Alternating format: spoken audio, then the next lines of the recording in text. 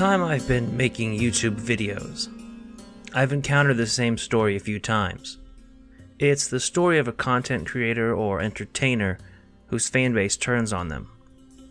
I'm fascinated by this story because of the many different ways in which a group of people can grow to hate something they once loved. With Jason Genova, you could say that the fandom was ironic from the start.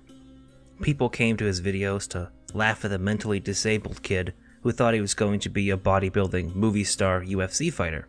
Over time, Jason's lying and scamming nature, among many other negative behavioral traits, caused a genuine hatred to build in the community that coalesced around his channel.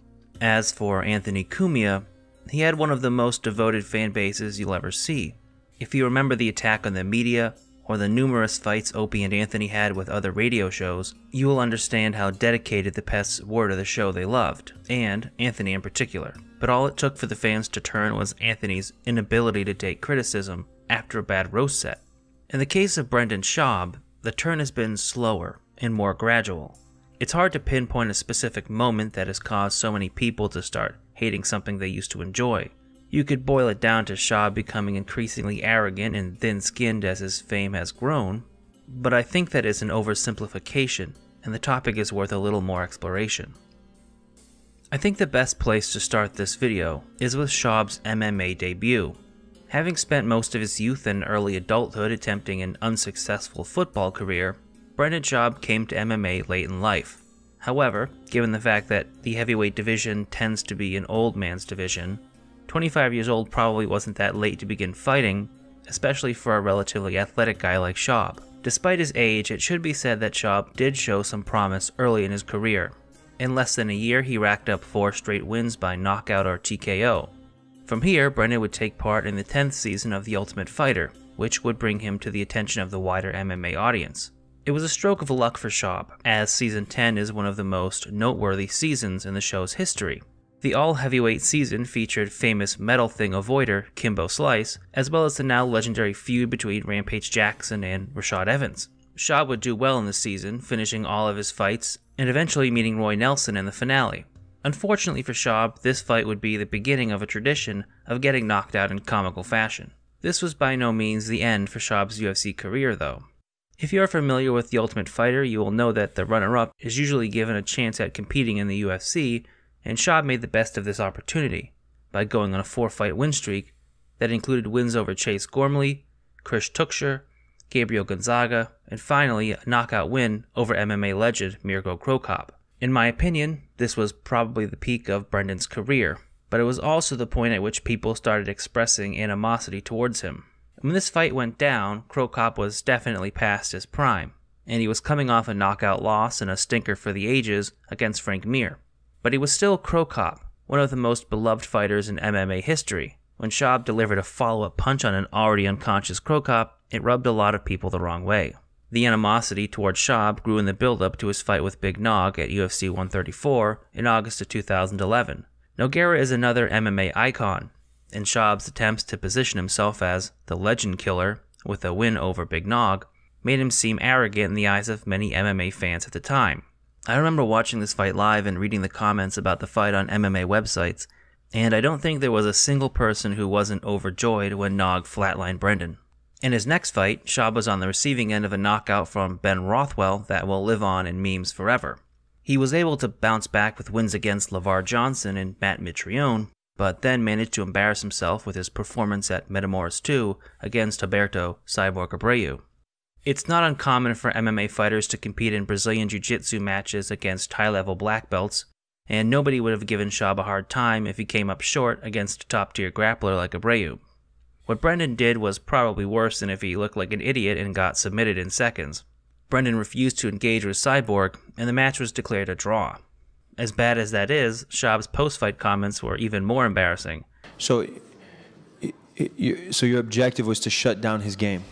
Yeah, with my training through you know Ryron and Rener Gracie and, and Jason Manley, the, the, goal was to shut him down. For me, it was a success. Shutting him down for 20 minutes was a success for Brendan Schaub. As as long as I live as a fighter, I'll never run from a fight like that. I've never ran. No problem. I've never ran. I've Man, shut things down. Have, look, Ask the, LaVar Johnson. The only Ask thing. Mirko Cro Cop. No problem. Gabriel but, Gonzaga. Well. I've never ran. Schaub's two fight win streak would be snapped in June of 2014 when he wound up on the wrong side of an incredibly boring decision against Andrei Arlovsky. Which brings us to the Travis Browne fight. Now, I've already nitpicked the way Brendan described this fight during his comedy special in another video. The biggest complaint Schaub's defenders had with that video was that supposedly every comic lies, and I was overanalyzing jokes. I want to make something clear. I know perfectly well that comedians lie in their sets. One of my favorite comedians is Anthony Jeselnik, and his act is almost entirely made of jokes about things that never actually happened. That is okay, because the lie is in service of making the joke funnier. But with Schaub, the lies he tells during the story of his fight with Travis Browne only serve to make Schaub look better, to make his story seem more heroic, and it's frankly pathetic. So my dad took me out of that, put me in wrestling. Then from wrestling, I went to jiu-jitsu, jiu-jitsu to boxing. I'm fully immersed, become the world champion. Fast forward 20 years later, I'm in pursuit of this exact goddamn dream. It's December 6, 2014. We're in Las Vegas, Nevada, MGM Grand. Here we go, man. Since I was 10 years old, I visualized this exact goddamn night. My name's on the freaking marquee at the MGM Grand. Before me, it was Conor McGregor, Brock Lesnar, Vander Holyfield, Mike Tyson. Now it's my turn. That being said, I'm not going to nitpick every lie Schaub has told about the Travis Browne fight. I'm only going to focus on one, the biggest one. That is, the way Schaub has painted the fight as the moment he decided he was done fighting and wanted to follow his passion for comedy. Bryan Cal and I took a taxi from Las Vegas, Nevada to Los Angeles, California at 3 in the morning. And we came up with a game plan of me never getting punched in the face again and pursuing my passion of stand up comedy. That is simply not true. If you're familiar with Schaub's story, or even just familiar with Joe Rogan, you will probably remember the episode of The Fighter and the Kid that took place after the Travis Browne fight, where Joe viciously tore Brendan down. You know, you, you it's not like you don't have good qualities, but if you had a wrestling match with Cain Velasquez, how well do you think you'd do? Straight up wrestling? Yeah, I think people would be surprised. really? You think so? Mm-hmm. I think you'd be surprised. I really do. I think he'd fuck you up. For just shy of two hours, Joe repeatedly told Schaub that he wasn't an elite fighter, wasn't committed to fighting, and suggested he retire before he suffered any more brain damage. I don't like Schaub, but I thought this was a dick move when I saw it in 2014, and I still think it was a dick move after watching it again with the knowledge hindsight provides. I understand the idea of tough love and wanting to be brutally honest with your friends when you think they're making a mistake. But aside from occasionally saying, you're a funny guy who could do something else, this was a fucking crucifixion. Schaub said at the beginning of the conversation that he didn't want to talk about the fight on the podcast, but felt like he owed it to the fans who stood by him during the loss. That didn't stop Rogan from going in on him like a prison bitch with Kool Aid on his lips. Anytime Brendan would try to defend himself, Joe would come back twice as hard. He even brought out a Terry Norris impression. But when you start seeing a guy like Terry Norris, uh, when you see those old guys like me, um, this day I go in there, the, the, the, the boxing is what I do. That, that fucking guy didn't always used to talk like that, man. And it creeps up on you slow. And if that happened to you, it would be a fucking terrible tragedy. Especially because you have the ability to do other shit. You're a funny dude. Brendan did raise one good point when he said it was easy for somebody like Joe, who is set for life, to tell somebody without a safety net to gamble with their life and future. I but uh, Joe, I think it's easy for you to sit there with whatever twelve million dollars in the bank and say, "Oh, you you need to stop doing this." Okay, I'll just stop doing it. It doesn't and, matter. And do Listen- podcasts for fucking the next forty years. Joe took this personally, of course, because he is an out of touch multimillionaire who doesn't realize that for every success story like his own, there are a thousand people in LA who tried to chase their dreams and ended up working at PF Chang's. Joe's belief that anybody can drop their soul crushing 9 to 5 job and start a podcast about bow hunting is one of his traits that I truly hate, but that is a rant for a future series. If I were to speculate, I think Schaub still resents Joe for publicly humiliating him, which is probably why he credits Callen in his special for helping him transition into a comedy career. This is a lie for another reason, though. Brendan didn't retire for nearly a year after his fight with Travis Browne. In his response to Joe Rogan, Brendan said on multiple occasions that he was going to continue fighting. Big Brown. Yeah. Ideal scenario. Who or what? re- When? When and who do you fight next?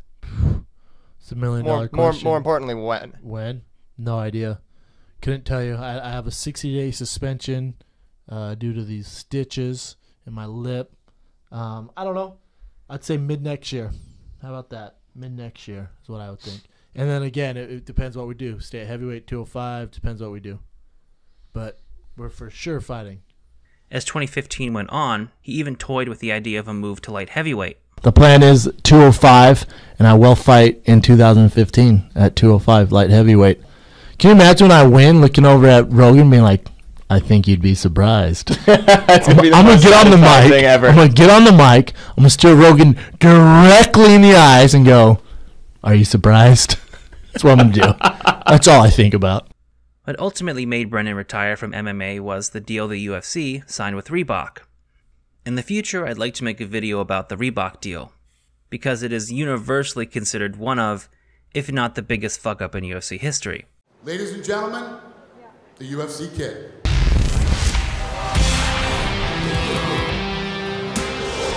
UFC Fight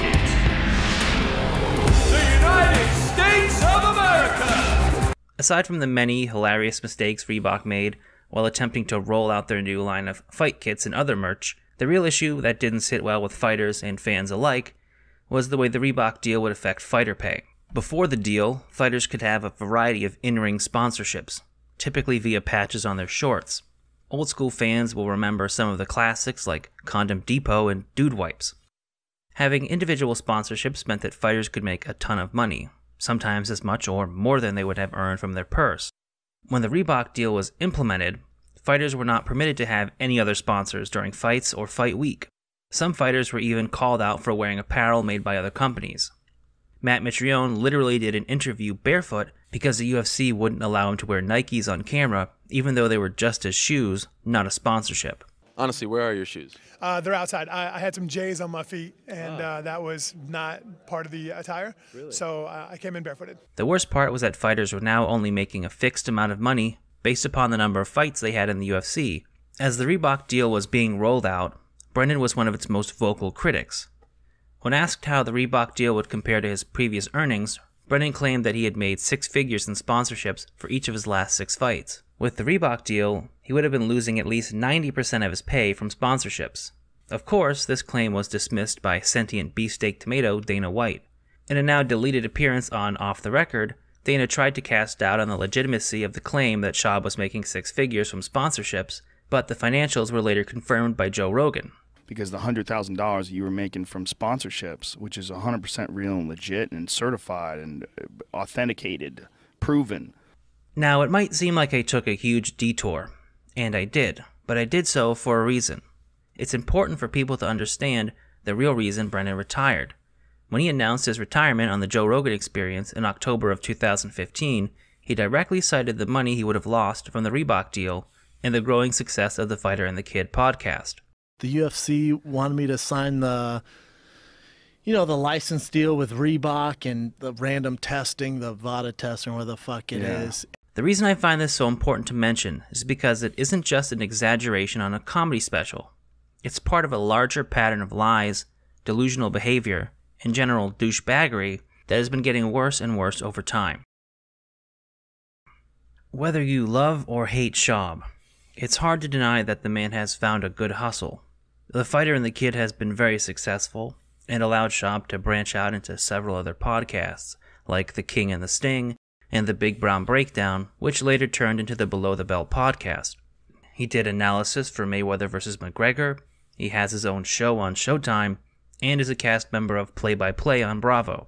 Brennan prides himself on his beast of a work ethic, but there is a serious quantity over quality issue here. This is a problem with podcasts in general, but it's especially bad with all of the LA comics who orbit Rogan. They all have three podcasts that put out two to three episodes a week, and they ran out of interesting things to say after about 10 episodes combined. To make matters worse, they're constantly going on each other's podcasts, so if you've seen a handful of podcasts from these people, you've probably heard all of their interesting stories and can predict what they'll say in just about any situation. I personally can't wait for the next Sober October, where Joe brags about how much he can exercise, and they all take turns making fun of Bert's Mickey Mantle jeans. What unnecessarily offensive thing will Ari Shaffir say? Get your laughing hats ready, guys. The problem is more pronounced with Schaub because he is really bad at everything he attempts. The man's career hinges upon speaking, but he can't put together two sentences without his brain short circuiting and firing off some incomprehensible gibberish. It's all just this big pile of, I should say, this big vat of stew, this entertainment stew. Fajitas are the the meat, man. They're the they're the nuts and the potatoes in there, right? So you know that painting that Michelangelo did where those two people are naked touching each other in the air or whatever? 16th. Yeah, 16th Chapel. I'm not throwing Pearl under the bench here, but you ever tried throwing a trolley, Chen? No, I don't know what you're talking about actually. Throwing a trolley. Is that what you said? Co- Conor McGregor threw a trolley through a bus window. Not putting the carrot in front of the horse's face there, but what's after this? hey, photographers, you blockbuster. The new iPhone's Netflix. I like the way the dick tastes. I like the way the dick tastes. They were talking about fraternity, frater, fraternity, fraternity, for uh, fraternal. Now we have Epidemic. Now we got Vitor Belfort. Epidemic. Ready for this? This is a protege. Had zero amateur fights. Zero. Not one, not 450 like Lomachenko, not 350 like Triple G. He's the youngest champion ever and has zero background. That would be a protege. Aaron Pico would Prodigy, be a, prodigy. Pro, yeah, pro, Prodigy, not prodigy. prodigy. forget what it's called. In- Incarus? The the documentary on Russian blood doping. Oh, oh that that camera's gonna come back like a goddamn shark white's nose, just fucking. And no, it's always a risk. But I wonder It's if those statistics are if with people with safes. I know Brendan has been hit in the head a lot, but the degeneration in his speech over just the last few years has been startling. He used to sound fairly clear headed and could make a coherent point without too much effort. You know what? It's a it's a fight. So uh, you know I'm, I'm ready for anything. I think that's a big asset. Is uh, I'm ready for it to go anywhere, wherever uh, Johnny wants to take it. Um, he can keep if he wants to keep it on his feet. You know that's definitely in my favor. If he wants to go to the ground, that's fine too. Now he is a hurricane of Vossian mispronunciation and malapropisms that put Ricky from Trailer Park Boys to shame. It's like a zebra getting his fucking ear starched off by a fucking eagle or something. If I'm trying to be fair to Schaub, he has suffered a ton of concussions, and he was never Conor McGregor or Chael Sonnen to begin with. Brendan's poor oratory skills are the least of his worries, though. He's just an absolutely terrible podcaster. It's the most noticeable during his solo endeavors because he doesn't have a funnier, more talented comedian to carry him. So for the time being, we're going to put the fighter and the kid and the king and the sting to the side and focus mainly on below the belt with Brendan Schaub. You would think that a podcast about combat sports would be a cakewalk for a retired MMA fighter, but you would be wrong. For starters, Brendan usually spends the first 20 minutes of an 80 minute podcast talking about his life, his stand up comedy, or bantering with his Korean manservant. It's so bad that the top comment on any below the belt video will be the timestamp for when the fight talk starts. Not that the fight talk is any better. The way this works is that the previously mentioned Korean manservant will set Brendan up with headlines and current events from the combat sports world, and Brendan will give his take on them. How that goes will depend entirely on whether or not Brendan has seen Luke Thomas's most recent video. If he has, Brendan will regurgitate whatever he can remember Luke saying in a patois of brain damage. Somewhere in the middle of this disaster, Brennan will stop talking about fights to painfully read an ad from one of his sponsors. Then I heard about Candid, the clear alternative to braces. And you know what? I'm all in for reals, Candid. Please send me some. Uh, Candid has an orthodontist who is licensed in your state and creates a treatment plan for you. And Candid only uses experienced orthodontists, not some dude just, oh, let's fix your teeth. No, we're talking about the real deal. They even create a 3D preview of what the final results are going to look like. That's what Candid did for me. I need them so bad. Now that I've approved my 3D preview, Canada is creating custom clear aligners that will be sent to me directly. I know these are live reads, but why not practice them a few times beforehand so he doesn't get tongue tied or otherwise make himself look like a total moron? By the way, these reads are in the middle of the podcast and usually bring the fight talk to a screeching halt anyway. So, other than pure laziness, there really is no reason not to pre record them and make a few attempts until you find the right take. Either way, once old cauliflower brain is done stumbling through the live read, we get back to the fight talk.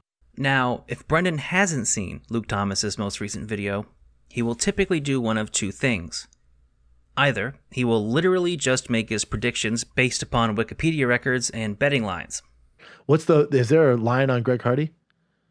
Oh wow, minus one fifteen, minus one hundred five makes sense. Boy, Vic's an underdog. Ray Borg's a favorite. Shout out to Ray Borg. Uh, Arlovsky, Ben Rothwell. Yep, makes sense. Rothwell's the favorite. Fun card. I'll definitely be watching it in Indy backstage. Or he will say whatever idiotic nonsense comes into his mind at the time. Part of this is because he legitimately doesn't know anything about MMA. Where I'm looking at it. Is this the copy Strike here? Yeah, well, this is fight metric. So Werdum, round one, looks like he landed more, right? Is that what it's saying? Landed by target? No, so he landed. position? So he threw thirty punches and he landed forty percent. Uh, Overeem threw ten punches, landed fifty percent. I understand. But wouldn't you weigh the fact that Werdum landed 12 to 5 in the head? Werdum No, because lands Werdum 13 threw to no, 10 no, in the body. Because. Werdum threw almost triple the amount of punches to get that. but you kinda- and didn't do damage. He didn't do damage, but I would even but 24 strikes to the legs versus 6 strikes. If I have no other metric to go by cuz neither one of them got any damage in that first round, I'm going to give it to Werdum. However, there is another factor at play here. Daniel Cormier hit the nail on the head about Schaub's analytical style after Brennan tried to imply that the panel for UFC on Fox were hired because of their race and not their ability. Sometimes you look at UFC tonight and like, all right, is that is that the best panel possible, or are you just trying to check off the boxes? We get it, UFC tonight, Fox. You're not racist. We get it. You have an all black panel. We get. Whoa, we get it. We get it, man. You know, are is are now? I'm going to ask you again. Are those the best brains and speakers for the art to the general audience? Cormier had this to say during a Bloody Elbow interview. Quote, The crazy thing is, Fox doesn't even hire the talent. The UFC puts them in those positions. So I don't really know what was intended with what he said. But Brendan has developed a style where he's shocking people with some of the things that he says. And when you start to do that, you're almost obligated to stay down that path. Sometimes Skip Bayless says things that are just ridiculous, but it's almost like he has to because that's what we've come to expect from him. It's kind of what he built. I think Brendan has developed that type of style. You know what? It's obviously working for him. He's got a show on Showtime, two massively successful podcasts, and a comedy career. I think in this day and age that, oh my god, I can't believe he said that tone is really valuable in the sports community. That's why these debate shows are so popular around the world. You've got one guy speaking facts and the other guy saying random crazy shit, and everybody's like, oh, I can't believe that dude just said that. That type of on air personality has gotten really big in today's society. End quote.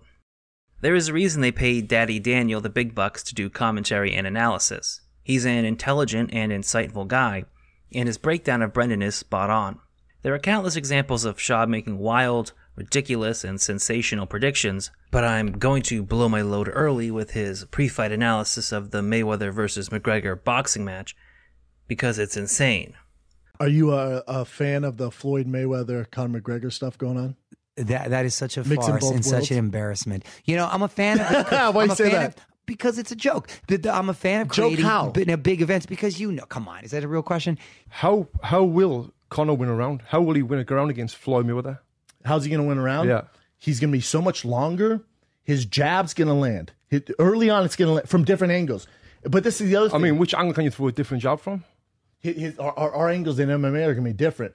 And the thing that people aren't taking into account is Conor is perfect for this. I don't like other MMA guys fighting professional boxers. It's not going to be pretty. The only reason I like this is it's the awkwardness of Conor McGregor.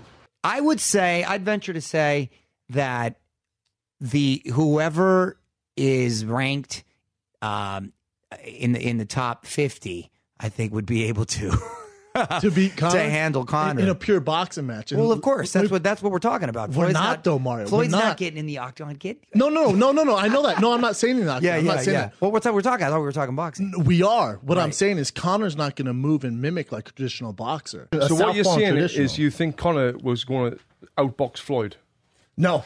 A little bit. He, he's gonna out Because awkward because him. if you if no, you, he's gonna out awkward. If you're him. jabbing him, if you're out jabbing him, you're out different you're jab outboxing though. him. Different jab. But that The angles. So our boxing range is here. Yep. Boxing, I can stay here. I have gloves. In MMA, we're all the way out here. His stance is this.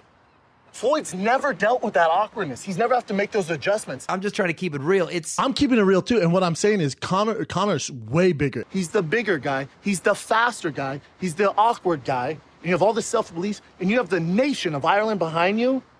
I'll take that, man. There are a lot I will of take that against a guy who's 40, who's just doing it for the money, But right? again, and has issues with his hands. you. You actually think to be competitive? You hold actually on, hold think- on. I Oh think Floyd. God. No, hold on. I think Floyd wins, but it's by decision. I think it goes all 12 rounds, and that's actually a win for MMA. you talk about stance. I believe that's where he's going to find trouble. Is in the basics of boxing. Oh, He's not going to be there to hit Mark. I can guarantee both of you this, and I would bet my last dollar on it. If there is a finish, it's because Conor McGregor knocked him out.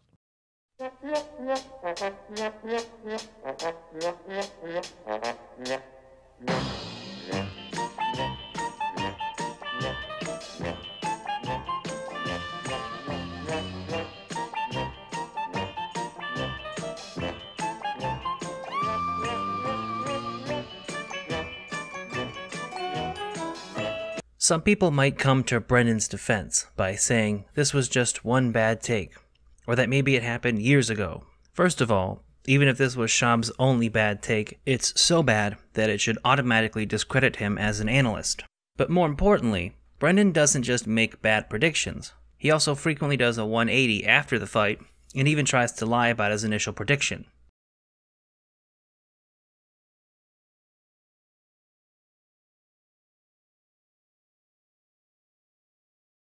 Again, there are many examples of this behavior, but I chose these two examples because they are pretty current. Therefore, Schaub defenders can't claim that he was just starting out or didn't have the experience he has now. The first example can be seen with Anthony Joshua versus Andy Ruiz, or as Schaub would call him, Anthony Ruiz. Ahead of the fight, Schaub gave Ruiz no chance of beating Joshua.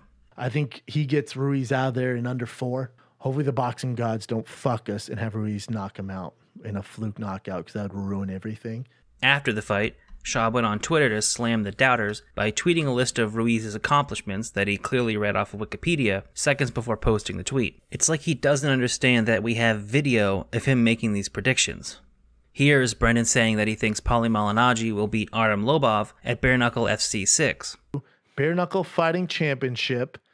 Paulie Malignaggi, my boy, versus Artem Lobov, who I'm also a fan of. I like Artem. I'll take uh I'll take Paulie and Cock.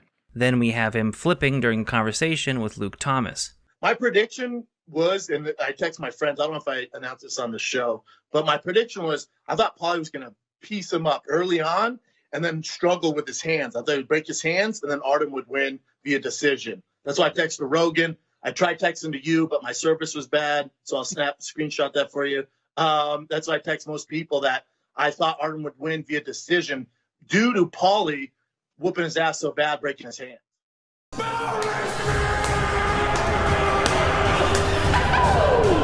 Did you see what he did? No, no, like He spit it. in Artem's face. Oof. Paulie is a um, volatile fella. Yeah, he is. Love the dude. Yeah. But they're they're He's- they're he gets their press conference. It's it's getting interesting. They fucking hate each other, man. Well, I think it's all that Conor shit, right? The resi- you think, residue doctor? Yeah. But it's just like to spin another man's face. I want him to fight me first, yeah. so I don't get kicked off the team. Yeah. So I go fucking Ace Ventura two style. Go. Loogie right in his face. We're face to face. Wow. He does nothing still. Wow. He's I'm not f- he, big dude too.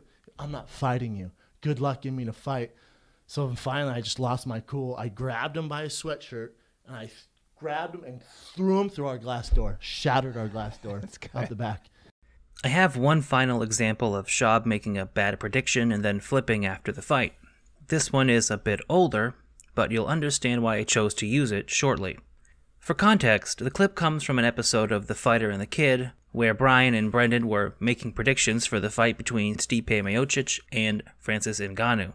This was during the period where Ngannou was at the peak of his hype. He had just turned Alistair Overeem into a horse meat Pez dispenser, and the UFC was measuring his punching power in Ford Escorts. As I mentioned earlier, Brendan's shtick when predicting fights is to say the stupidest and most outlandish thing he can think of, so of course he picked Ngannou to win. But more importantly, he belittled Bryan's opinion the entire time.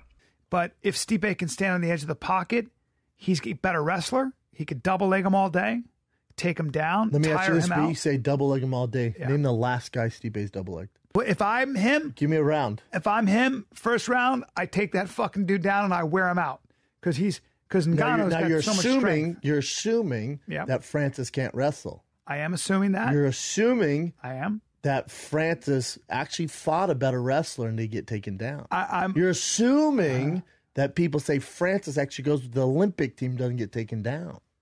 As we now know, the fight went almost exactly as Callen predicted. This isn't a fluke by any means. Brian is actually a surprisingly good MMA analyst, far better than Schaub is. Um, Michael Bisping has problems with that eye. I I think the the thing that GSP's so good at is finding your one weakness, your one blind spot. No eye? pun intended.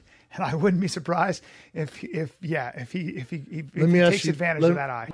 I mean, I don't want to give away for, for Michael, but I study a lot of Michael's tape. I knew he had problem with the, the shot coming to his to his right. So our plan was to fake him on the on on his left side to attract his attention and and strike him on the right.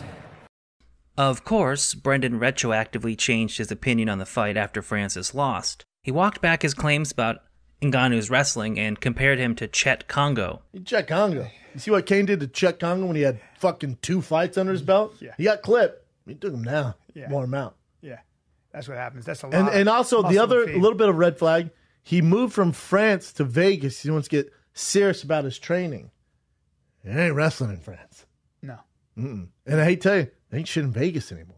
More interesting to me was the way Brendan treated Callen in the first place.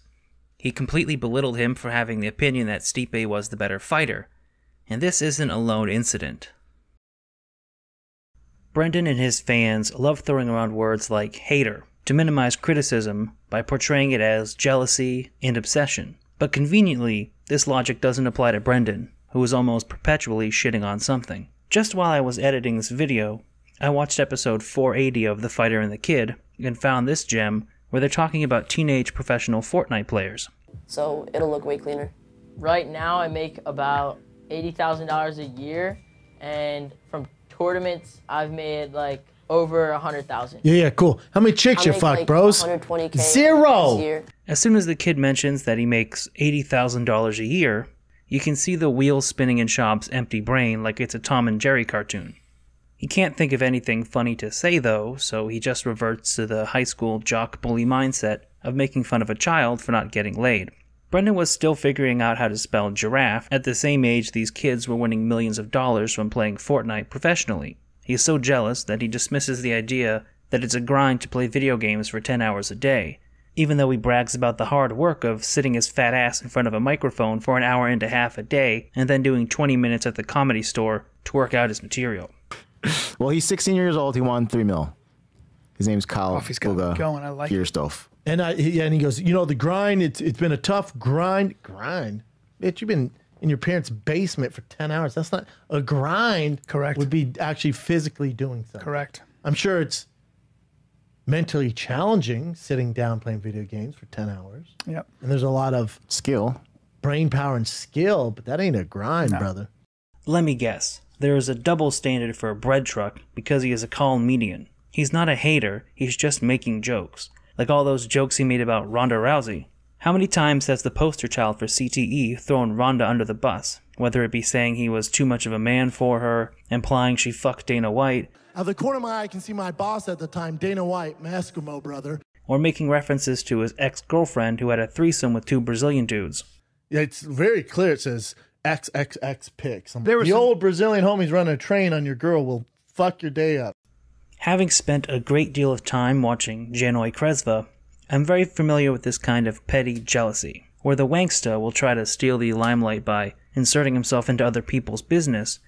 Schaub insults and bullies people under the guise of comedy. He knows he can get away with shitting on people because he's a former heavyweight UFC fighter, and friends with one of the most influential names in comedy. To use Jason Genova in another analogy, I am of the opinion that if he was as intelligent or capable as an average person, he would be dangerous because he is a delusional, compulsive liar with no sense of right and wrong. Brendan isn't that bad, but he is an example of what happens when an insecure, jealous bully is given success and fame and his ego is allowed to grow unchecked by those around him. He's the kind of person who will act like an authority on something he read or watched five seconds ago. He will condescend to other people about something he hasn't even seen. All right. Like if like if you watch that uh I forget what it's called, In- Incarus, the the documentary on Russian blood doping. Oh yeah, crazy, crazy. Did The you whole- watch the it? state? No, but Did I know. watch I it? read a lot about it. You got you got to watch it so you Yeah. get more grasp. Cuz the And you- state, which covers a topic he doesn't understand. the state was the The state s- no, itself was not the state, the country. Yeah. the country of Russia. And if you think they're the only ones doing that, No. you're you're, you're No. crazy. From what I've seen, this kind of behavior is the reason a lot of people have been turning on Brendan recently. Rogan and Callen have been lying to him about how funny he is, and his connections to Joe have afforded him opportunities that much funnier comedians only dream of. Just ask yourself this question. If Schaub was not friends with Joe Rogan, do you think he would even be allowed in the comedy store, much less have a special on Showtime? Of course, Brendan attributes all of his success to his athletic work ethic, but that is because he has nobody in his life telling him the truth. Joe probably feels like Brendan's tard wrangler, and Brian is too nice to call him out. Theo Von will occasionally roast him, You look like you got fucking stung by a bunch of bees, dude. Bro. Where do you live at, bro? In a comb? You gotta tighten up, bro. You're gonna get diabetes, dude. but he knows not to rock the boat too much. None of those lesser known comedians at the comedy store are going to open their mouths either, because they don't want to jeopardize their chance of being on a well known podcast. Or worse, piss off Uncle Rogan by offending his Make a Wish kid. This is how we find ourselves at the point where Brendan's ego has ballooned to its current proportions. His personality is centered around materialism and status symbols skinny jeans, ridiculous Japanese shoes, $20,000 Rolexes. He is so obsessed with his appearance that he's probably had lip injections and Botox, from what I can tell. And nobody is calling him out, which is how you create a person who views himself as superior to anyone less famous or successful than himself. But for the people that are, are negative or are on uh, are are on forums and are uh, create troll accounts, I, I view those people the same I'd view a homeless guy critiquing my art or critiquing my set or critiquing a podcast. They do not matter. It literally does not matter to me. I mean, not because because someone cause the the per, the person who would go out of their way to create that account or to live in their mom's basement or whatever job they're working could not even fathom the amount of work it takes to pull off something whether it's a set or a good podcast or a business or merchandise or you know it's just it, it, does not matter. Mm. It does not matter to me. So when people let lets that affect their mood or their life it's mind boggling it's crazy to me. What do you care? It'd be the same as if a cat created a profile. That's a good example. who cares? A cat. even a homeless guy. If a homeless guy was just creating a p- profile and talking shit they have, it doesn't matter Unfortunately, that includes Brian Callen. I honestly like Brian. I think he's a funny guy and a solid actor. He was hilarious on Mad TV, too, but his comedy career is not doing well lately, and I think you can place the blame squarely on Schaub. Even if you regularly watch stand up comedy, you probably haven't seen Brian's last two specials Never Grow Up and Complicated Apes. Why? Because they're both on Amazon Video on Demand instead of other services where you typically find stand up comedy. This is interesting because, from what I've heard, Brian was in talks with Netflix to release Never Grow Up on their platform. This deal didn't materialize because, somehow, Brendan convinced Brian to make the monumentally stupid decision to bundle Never Grow Up with the one season run of The Fighter and the Kid 3D and a t shirt. for for Brian especially, he's more sensitive than I am to this because, and I've I've talked about this a little bit before. With his special, there's so much competition out there, and all anyone knows is do it on Netflix, do it on Comedy Central, do it on HBO, do it on mm. Showtime, and it's not that it's oversaturated, and the big names are, are benefiting from that. for Brian, he has so much going on. I think they have to package him different. So I told Brian, you, you're waiting for this approval from all these people who are fitting you in this kind of one general area like everyone else. You're not everyone else. Yeah. I said, you have a, a fan base, and I see it at the live shows. Dude, they love you, man. And I've seen so many specials. It's amazing. Release it to the fans, man. Yeah. And uh, so we came up with the idea to release it with the Fire and Kid 3D of a way to give back. So, you know, with the 3D package, this, a shirt. There is no way Schaub genuinely believed this bullshit story that Callen was somehow different from other comics and wouldn't benefit from being on one of the major platforms. Because, when Brendan had the opportunity to do a special on Showtime, he jumped on it faster than Jon Jones jumps out of a car after hitting a pregnant woman. Once I saw the stage, it hit me that this is a big deal. It's obvious that Brendan did this to minimize the success of Brian's special while also attaching his name to Brian's work and bundling it with his own merch. That is such a disgustingly manipulative thing to do. Especially to someone who is supposed to be your friend, the guy who helped you figure out a way to follow your childhood passion in comedy. This is how you repay him? Now, Brendan's career is doing much better than Brian's. He has multiple podcasts, a special on Showtime, and several TV gigs, while Brian's special is on Amazon, the Walmart dollar DVD bin of streaming services.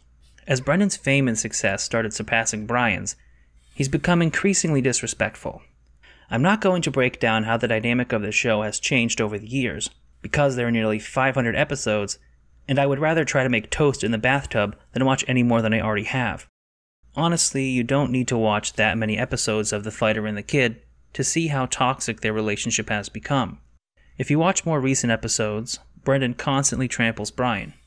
He hardly lets Callen say one sentence without interrupting. You know, and, and I think that's an important thing to keep in mind for people. But especially like- with fighting beats. My mother- It's the, the, oh, the, well, I because if there's you, any doubt, if there's any doubt, this is what the I'm saying. consequences. The consequences are- Listen, if you want to be a singer and you don't have a plan B and you don't make it, all right, you'll find something else.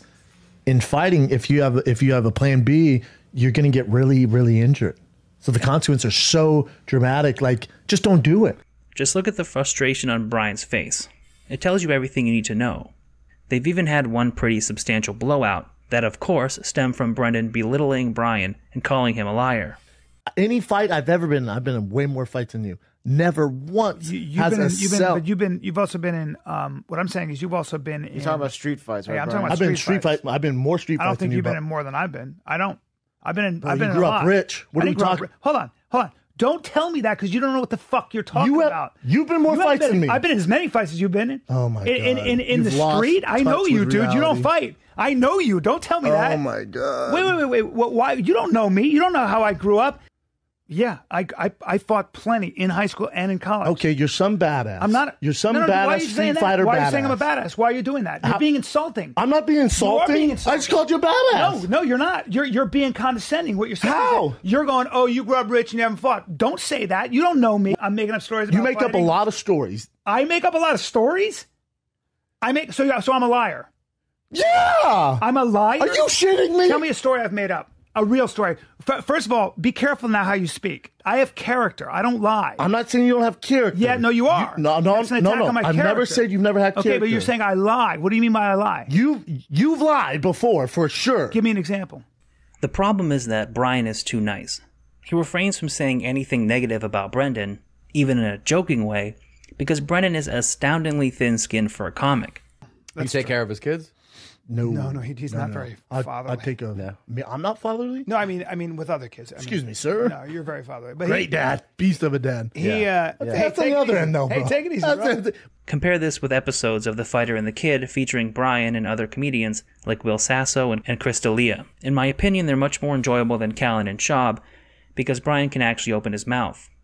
Of all of Brendan's terrible traits, I think the bullying of Brian is probably the worst because this is a man who helped Brendan become a comedian. Sure, Joe Rogan's influence has probably smoothed a lot of career speed bumps, but Brian was the one who initially helped Brendan get a foot in the door of stand up comedy. Brian Cal and I took a taxi from Las Vegas, Nevada to Los Angeles, California at three in the morning. And we came up with a game plan of me never getting punched in the face again and pursuing my passion of stand up comedy. Without Brian, Brendan would still be getting his head punched in for a living. Brendan is now the successful one. But unlike Callen, he's clearly uncomfortable with helping somebody who has outlived his usefulness. I've already said a lot about Schaub in this video, and I've tried to cover the meat and potatoes and nuts of this entertainment stew. We haven't devoted much time to talking about comedy yet, though. It's a tougher task than you might imagine, because there is very little video of Brendan doing stand up. His Showtime special is basically the only footage we have. There are more clips from You'd Be Surprised on YouTube than the rest of the videos of Brendan doing stand up combined. When I made my Amy Schumer documentary, I talked about how I thought Amy's comedy career was rushed to build her into a star, but Amy had been doing stand up for nearly 10 years by the time she was given her first hour long special. It's true that most of the material was recycled from a previous album and Comedy Central half hour, but at least she had the experience of doing a set on Live at Gotham, appearing on Last Comic Standing, as well as producing an album and a half hour special. Brendan not only got a special in less than half the time it took Schumer, he never had to prove himself the way other comics do. Even Rogan said he thought Brendan did the special too soon. You you you're you're trying to get better at something that's very difficult to do. Some say the most difficult to and do. you put out a special two years in, which is ridiculous. I would have told you not to do it. The truth is, Brendan didn't get a Showtime special because he's funny or such a hard worker. He got a special because of his friends and his name value. He's basically the CM Punk of comedy. An outsider whose fame allowed him to bypass the vetting process that weeds out people who aren't ready for the big show. The difference between Schaub and Punk is that MMA fighters didn't have to hold their tongue when they thought Punk was making a mockery of the sport. For up and coming comics, there is a huge risk associated with trashing Rogan's charity case. I'm not a comic, but I have nothing but sympathy for those people who have to sit in the green room at the comedy store and pretend they don't hate this lummox who got to sail past everyone else because his comedy career has training wheels. This is the problem I have with people who come to his defense by saying, Of course he isn't very good. He's only been doing this for four years. Why should we go easy on him? I could see it differently if he was like Steve O or Mick Foley, but Brendan was the one calling himself a stand up comic, even though he didn't even know George Carlin's name. What they're saying is, so let's say you like um, Jerry Seinfeld, right? Well, who inspired Jerry Seinfeld? That's going to explain all about Jerry Fi- Seinfeld. Well, who inspired, let's say, George Carlton? If he's a Carl- George Carlton, Carl- Carlton. Carlin. Carlton. Let's say who inspired him? Carlin, George Carlin. George Carlin. Carlin. Who inspired him? Then you go to that.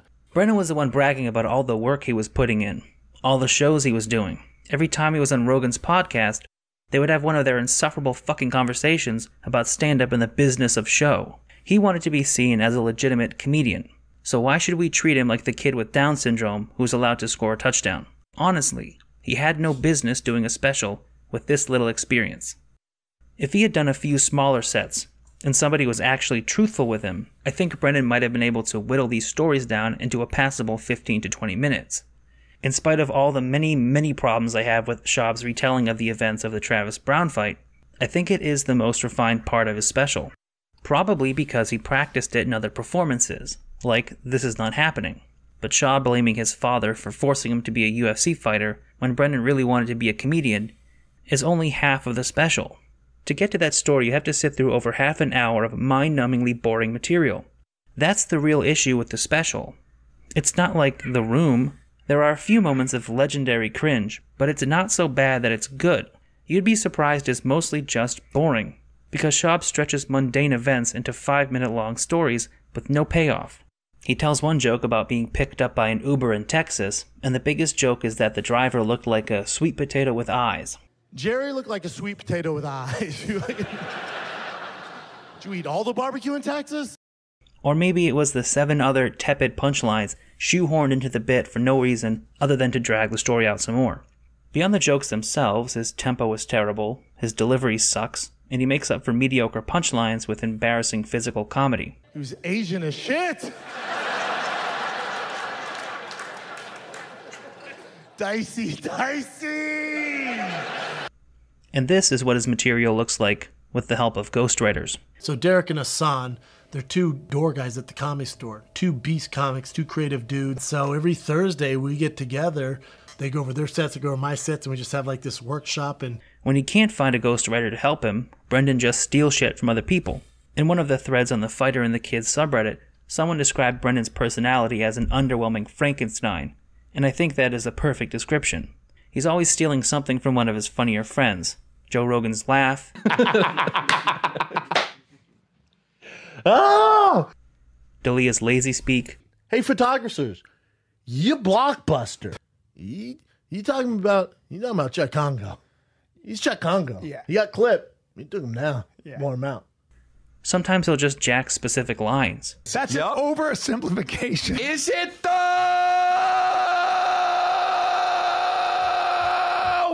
Is he doing good stuff though? Where the thievery becomes indefensible to me is when he starts doing it in his act. He ripped off Dave Chappelle's habit of punctuating jokes by slapping the mic against his leg.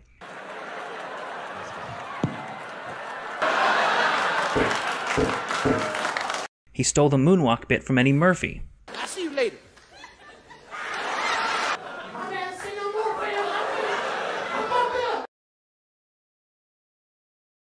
You know what my favorite food is? Fajitas. I love fajitas. Do you like fajitas? Ever get those? Yeah, you do, right? They're good. Because it's more than a meal. It's very exciting.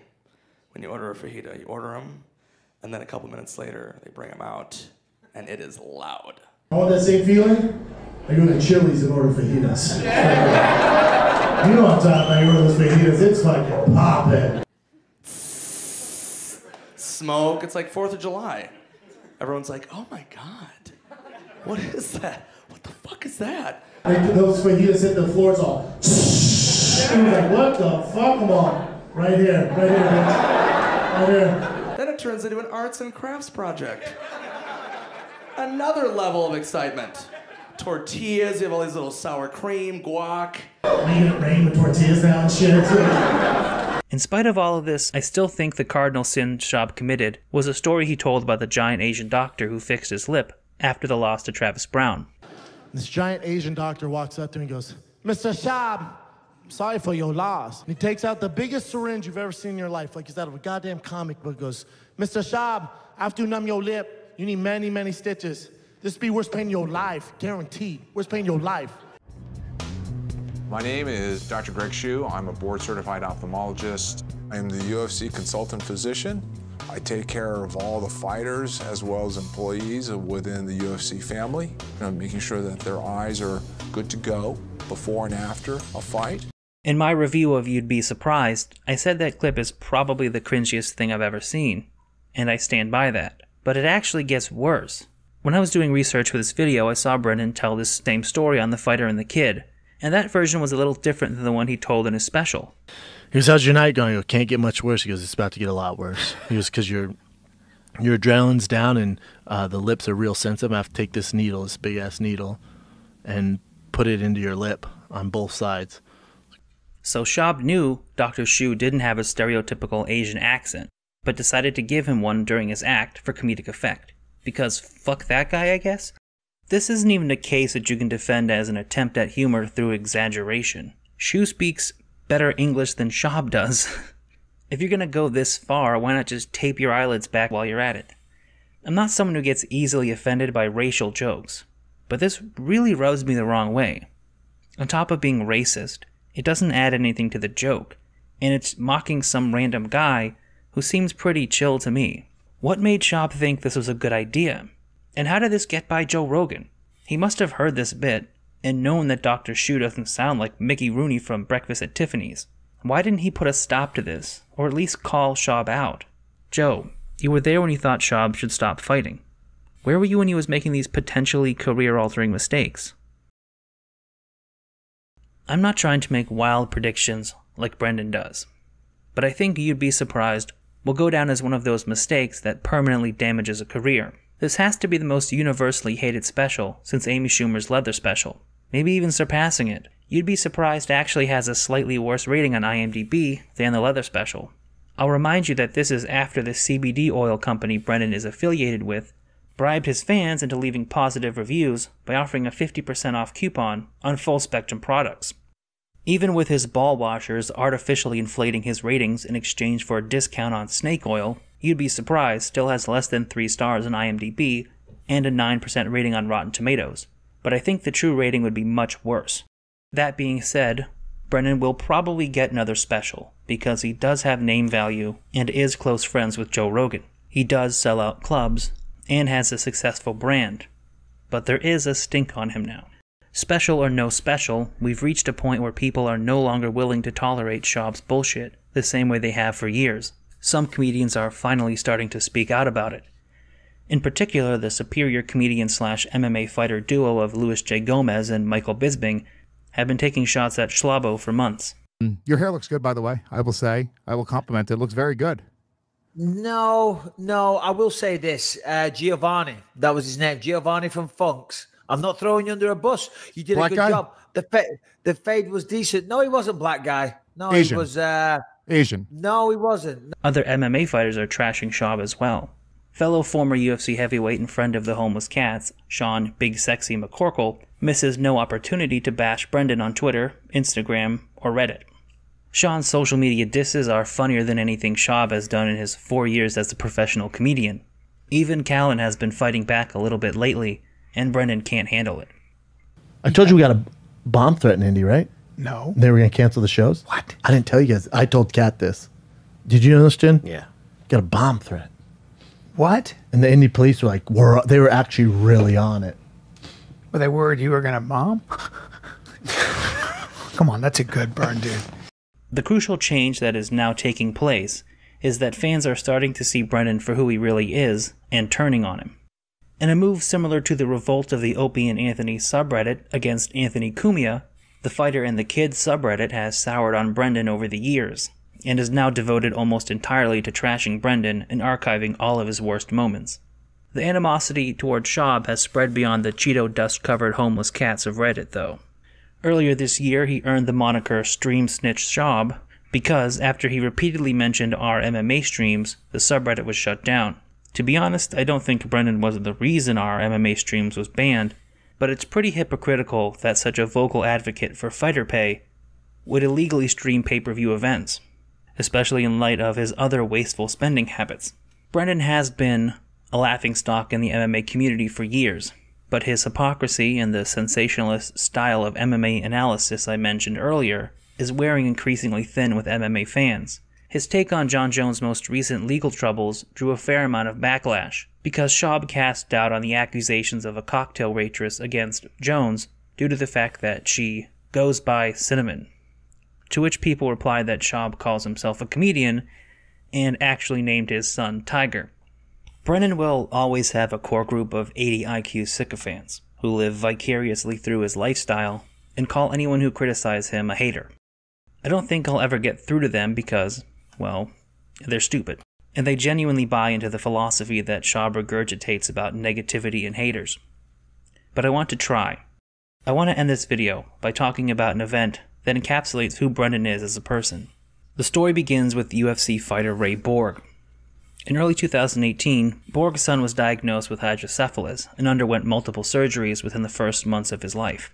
The medical bills were so large that Borg was forced to open a GoFundMe page and considered quitting MMA to get a regular job. Many members of the MMA community came to Borg's aid, but there was one who stood out from the rest. On the JRE MMA show number 43, Schaub said that he would pay for Ray Borg's son's medical bills. When I say I'll help you, Ray, I'm dead serious, man. I'm not one of these guys who just I don't need the publicity. I don't need any of that. I, I sent you my I DM'd you my number. I will cover the medical bills, man. I got you, brother. I got you, man. Hit me up. And later stated the profits from his upcoming shows in Utah would be donated to Borg. I'm doing a show in Utah. I'll donate all the money I make from my six shows in Utah to his medical bills. Beautiful. That's beautiful, man. It sounds like an incredibly selfless thing for Schaub to do, but as far as I know, we've never seen any confirmation that he did. For one thing, we know that other fighters like Chael Sonnen and Cody Garbrandt helped Borg out. And Cash App, one of the sponsors for the Joe Rogan Experience, set up a referral code that would donate $5 to Borg's son's medical bills. This referral code was still being promoted by Rogan months after Schaub said he would take care of Ray Borg. Borg did later give a statement vaguely saying that Schaub is a man of his word and helped raise family in a tremendous way. You know, he obviously publicly showed interest about wanting to help my family. You know, and and you know he uh, he he did he he abided by his word. You know that he was that he he helped my family out, and neither of us cared about making it known. But that is a lot different than saying, yes, he covered my son's medical bills. To be fair to Schaub, donating any amount of money to pay for an infant's medical bills is a good thing. I'm not taking away from that act. It just leaves a bad taste in my mouth that Schaub continues to say that he took care of Ray Borg's son's medical bills, when we know he wasn't the only one donating. He wasn't even the only MMA fighter, but he was the only one bragging about it on multiple podcasts. One for a new pick. Joey Benavidez, who's my boy, Yeah. versus Ray Borg, who you guys know who I love and support, who's going through the things with his son. Is there any updates to that? Uh, in regards to, To Ray Borg and you guys maybe talking or something? I don't know. took care of him. Oh, that's freaking Yep. awesome then. Yep, he's uh, we're all set. Took care of my boy Ray. He was the only one using a sick child's medical bills to sell at his comedy shows. I don't think Brendan is a bad person, but I don't think he does things out of the goodness of his heart either. Whether or not he actually took care of Borg is immaterial to the fact that he used the situation to boost his standing in the MMA community. I've, I'm a good person. I'm a great. I'm a good fucking person, man. Like uh, I donate. I, I've this my my uh, guy I don't even know. His son was having horrible brain problems. I covered his medical bills. Like, dude, I, I'm a good guy, man. It wasn't enough to quietly approach Borg the way Joe Rogan recently did with Miriam Nakamoto to cover the cost of her stem cell treatment, or the way Dana White did when he donated $50,000 to save the life of the daughter of a teacher at Tiger Muay Thai. Schaub had to let everyone know that he was going to take care of Borg to look like the good guy.